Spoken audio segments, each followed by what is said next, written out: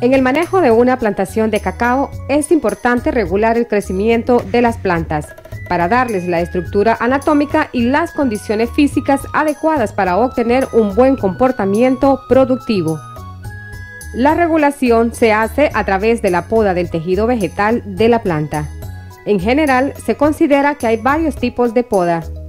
Está la poda que se realiza durante los primeros tres años de la plantación, la cual se conoce como poda de formación temprana. La poda de mantenimiento es la que se realiza en la planta durante su vida productiva para regular su crecimiento, desarrollo y darle sanidad a la misma.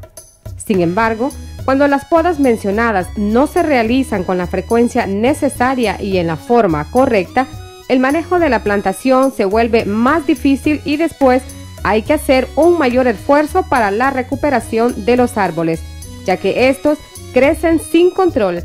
En este caso debemos realizar la poda de rehabilitación. En esta ocasión les vamos a hablar de la poda de formación de los árboles con el propósito de adquirir la estructura adecuada que permita sostener la producción futura de los árboles tal como lo hemos mencionado anteriormente.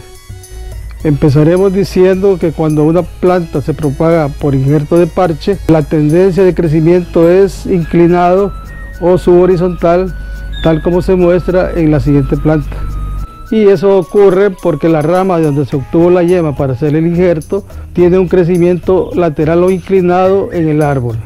Debido a que el nuevo brote tiende a tener también ese hábito de crecimiento, es necesario educarlo o inducirlo a un crecimiento vertical para que conforme una buena estructura de la planta. Esta inducción es necesaria hacerla desde temprano, desde que el injerto empieza a crecer en el vivero. En este caso, la corrección del crecimiento se hace mediante el amarre del brote para acercarlo a la porción del tallo del patrón. Este amarre se hace generalmente usando una porción de la misma cinta plástica que se usa en la identificación del injerto. El amarre se mantiene así durante todo el tiempo que la nueva planta está en el vivero. Cuando la planta sale del vivero y se trasplanta al campo definitivo, ahí hay que continuar induciendo el crecimiento hacia arriba, en la medida que el injerto crece.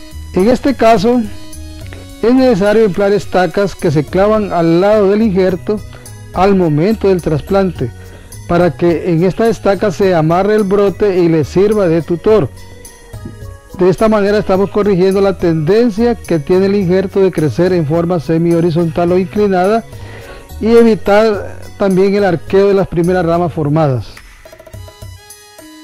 Hay que estar pendiente de que el tutor esté funcionando hasta la edad de un año en el campo. Una vez que la planta adquiere un año, ya se hace necesario iniciar la poda de formación.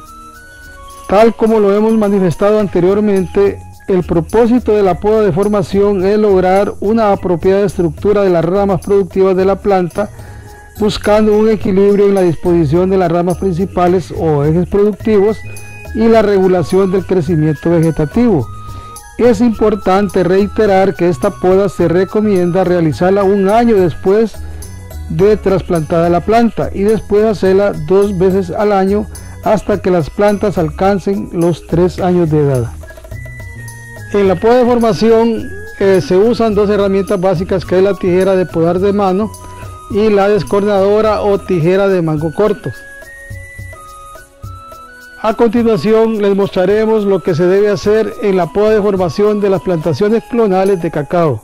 Debemos seleccionar las ramas inferiores, las que estén mejor ubicadas, dispuestas en forma de X, formando una especie de candelero. El resto de ramillas se deben podar, así como las que surjan muy juntas, débiles, en la parte ya sea media o en la parte superior. También se deben podar las ramas que crezcan extendidas y mal dirigidas hacia la parte externa e interna del árbol. Cuando eliminamos todas las ramillas, descongestionamos la copa, estamos facilitando y regulando la entrada de luz solar al interior de la plantación Asimismo, estamos permitiendo un mejor flujo del aire dentro de la planta y de la plantación en general. Ambas cosas son buenas para la prevención de plagas y de enfermedades. las ramas muy extendidas o desplayadas hacia los lados las podamos o despuntamos para evitar que rocen con las ramas de los otros árboles o se arqueen hacia el suelo por su propio peso.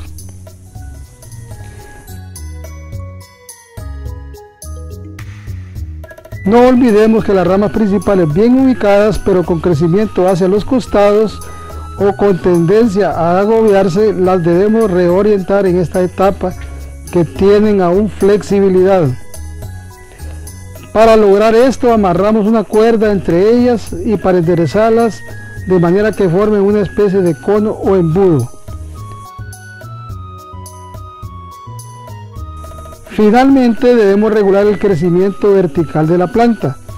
Para conservar una altura manejable del futuro árbol, esto se consigue mediante la práctica del despunte de ramas con tendencia a dirigirse hacia arriba.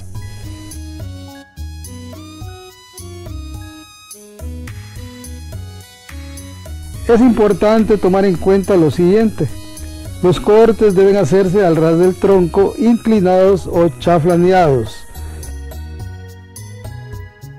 En los despuntes se recomienda realizarlos en los puntos de crecimiento de una o dos ramillas axilares para que no queden puntas de ramas o chuzas y evitando de esta manera que éstas causen accidentes en la integridad de los trabajadores. Después del primer año las podas deben hacerse al menos dos veces por año en forma moderada y cuidadosa, limitándose a entresacar las ramas y ramillas muy juntas, mal dirigidas, entrecruzadas y algunas débiles conocidas como plumillas.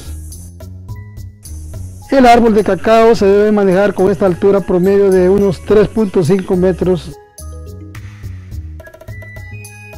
Esta es una planta de aproximadamente 3 años donde está bien definida la arquitectura o la estructura productiva consistente en tres ejes o ramas principales. Esto sería un, primer eje, un segundo eje y un tercer eje como ramas primarias que surgen a escasos centímetros de la, del cuello de la raíz.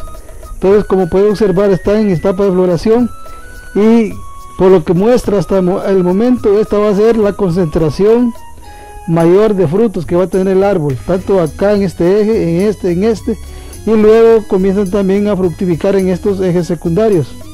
Pero los principales o los más productivos son este, este y este y la, conformación que adquiere es la forma de un, de un embudo, forma cónica, formando ángulos de 45, un poquito más de 45 grados.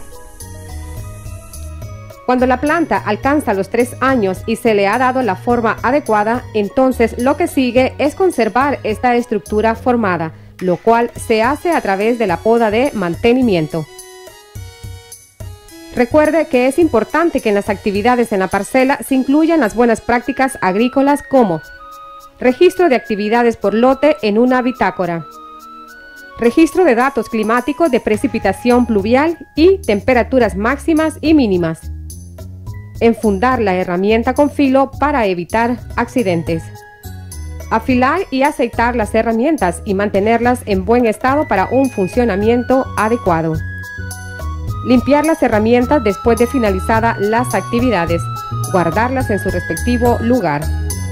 Usar pantalones largos y botas. Disponer de un botiquín de primeros auxilios y contar con un suero antiofídico.